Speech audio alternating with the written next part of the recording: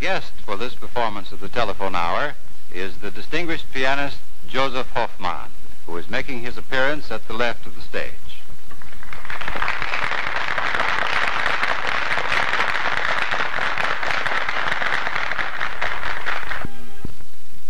In going over pieces for his solo, Josef Hofmann selected this composition for two very good reasons.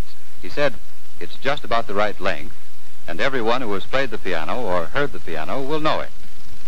Josef Hofmann plays a composition by his fellow artist, the late Sergei Rachmaninoff, the prelude in C-sharp minor. Mr. Hofmann.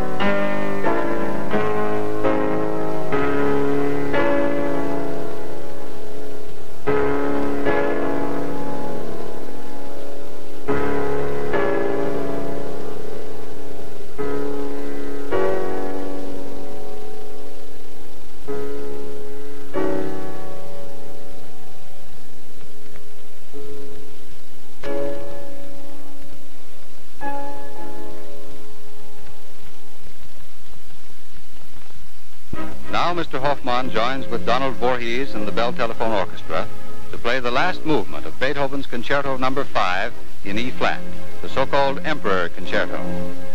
How the work got its nickname is not known, although the majestic title seems to fit the last movement, a rondo of noble proportions and splendid vigor. We now hear the final movement of Beethoven's Emperor Concerto.